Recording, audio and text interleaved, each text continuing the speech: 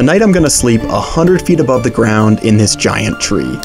Earlier, I climbed up with my hands and feet to get the rope up, and now I'm jogging back up with everything I'm gonna need for the night.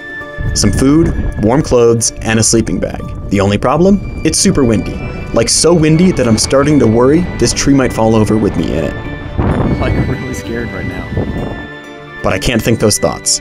I try to enjoy the sunset and eat my dinner as the last of my light fades away. Now it's just time to endure. The darkness feels never ending.